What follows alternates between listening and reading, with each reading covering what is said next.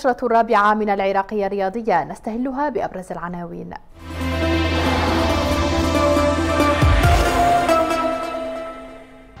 غورغيس يؤكد إقامة مباراة منتخبنا الوطني أمام نظيره السوري في موعدها المحدد. التطبيعية تحدد موعد انطلاق بطولة كأس العراق وموعد انطلاق دوري الدرجة الأولى. خبير يؤكد أن الزوراء ينتظر الضوء الأخضر من خلية الأزمة للمباشرة بالوحدات التدريبية.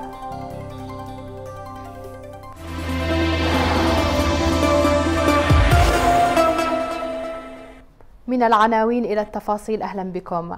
أكد الاتحاد العراقي لكرة القدم أن مباراة المنتخب الوطني الودية أمام سوريا لن تؤجل وستقام في موعدها المحدد خلال شهر أيلول المقبل.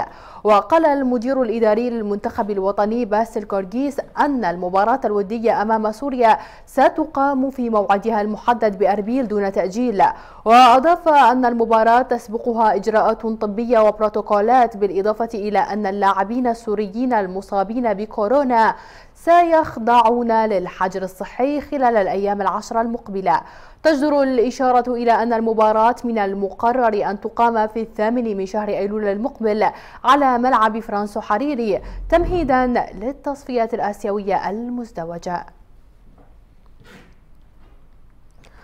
صدقت الهيئة التطبيعية للاتحاد العراقي لكرة القدم على توصية لجنة المسابقات بشأن اعتماد آلية مسابقات بطولة كأس العراق للموسم الكروي الجديد. وسيتم اعتماد نظام البطولة عبر دعوة الأندية بمختلف مستوياتها والراغبة بالمشاركة بتقديم طلباتها إلى الاتحاد ابتداء من الخامس والعشرين من الشهر الجاري ولغاية الثالث عشر من أيلول المقبل. وستكون المشاركة اختيارية في بطولة الكأس فيما ستقام القرعة في السادس والعشرين من الشهر المقبل. وبعدها تنطلق المراحل الأولى والثانية والثالثة بتاريخ 20 وثلاثين وخمسة وعشرين من تشرين الأول وأيضا دون الدرجة الممتازة. وسيتأهل 12 ناديا من التصفيات الأولى. لتلتحق بفرق الدوري الممتاز في الدوري الثاني والثلاثين على أن تلعب باقي المراحل بدءا من شهر تشرين الثاني تزامنا مع فيفا داي. صدقت الهيئة التطبيعية لاتحاد الكرة على توصيات لجنة المسابقات لإعادة تصنيف الأندية في المحافظات إلى مستويين درجة ثانية ودرجة ثالثة للموسم المقبل. وسيكون موعد انطلاق تصفيات الموسم الكروي في الخامس عشر من أيلول المقبل للعام الجاري ولمدة شهرين. تنتهي لغاية الخامس عشر من تشرين الثاني وسيترشح بطل دوري درجة الثانية من كل محافظة إلى تصفيات المناطق وبغداد والتي ستخوض تصفياتها ابتداء من الخامس والعشرين من تشرين الثاني المقبل ولغاية الخامس والعشرين من كانون الأول والتي ستتمخض عن تأهل 12 ناديا جديدا يتم ضمهم إلى الأندية العشرة من الموسم الماضي مع ناديي الحسين والبحري الهابطين من الدوري الممتاز. وسيصبح العدد الكلي للأندية 24 ناديا.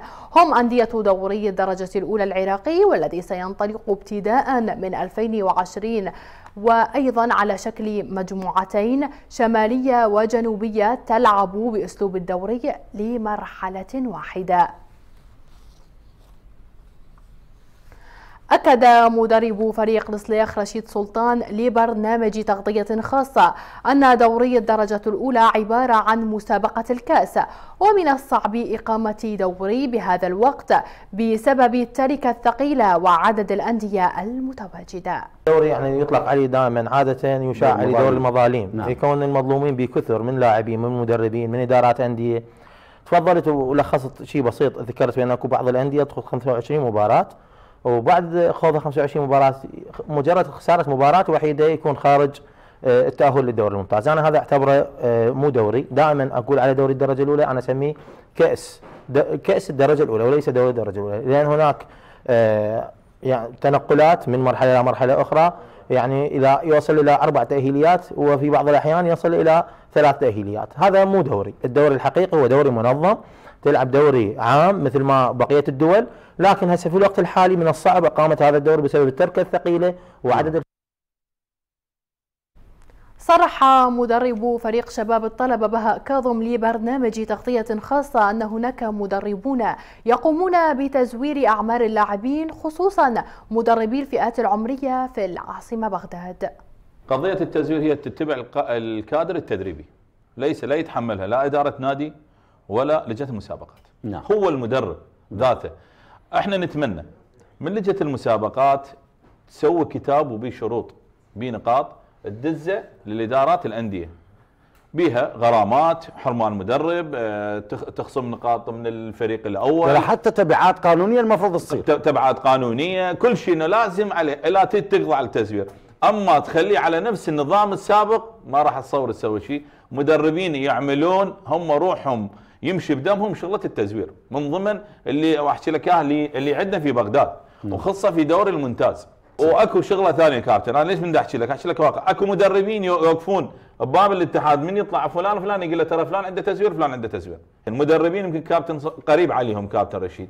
مدربين هم يزورون لاعبين شلون؟ قل له جيب لي جنسية مال أخوك. بالضبط. يلعبه بجنسية أخوه. وأكو بعض الأندية بعض الأندية صعدوا لاعبيهم الأول كل واحد اللي صعد لاعبينه للأول فرق خمس سنوات مواليد 96 أنا قصدي لجنه المسابقات هي تتحمل المسؤولية كاملة. ليش؟ تسوي ضوابط قانون كامل تدزه لرئيس النادي يختم به ويوقع به رئيس النادي صدقت الهيئة التطبيعية للاتحاد العراقي لكرة القدم على توصيات لجنة المسابقات بخصوص انطلاق دوري الشباب في الموسم المقبل.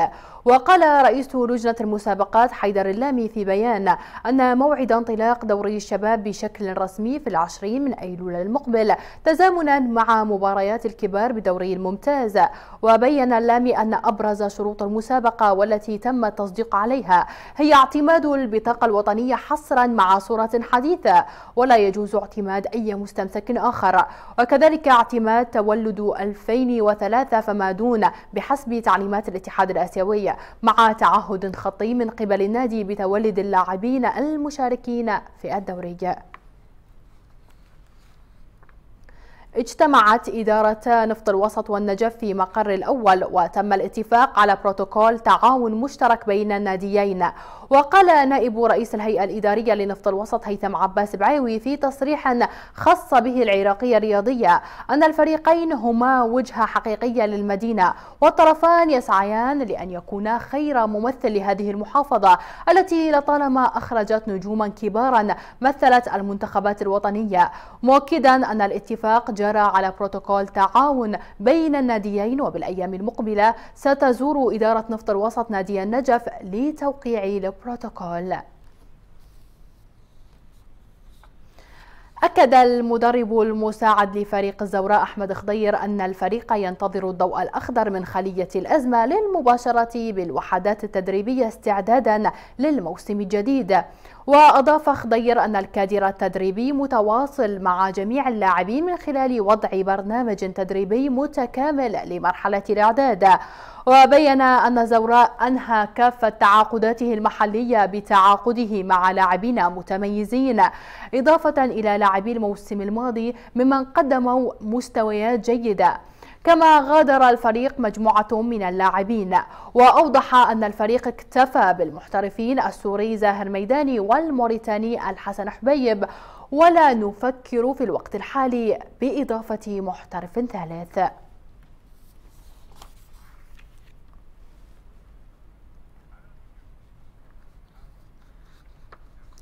في إطار الوحدات التدريبية الإلكترونية التي تقيمها المراكز الوطنية لرعاية الموهبة الرياضية التابعة لأقسام الموهبة الرياضية في بغداد والمحافظات.